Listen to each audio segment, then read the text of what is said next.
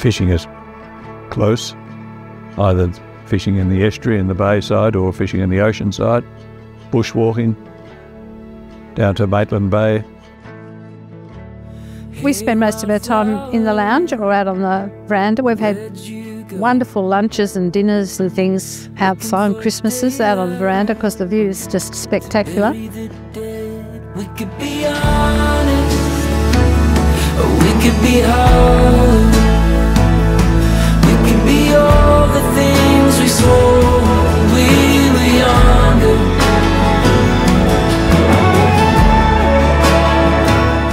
I loved this house as soon as we came into it because it really suited us for our stage of life because there was room downstairs when the family came to visit that gave them their own space and we could actually just live on one level.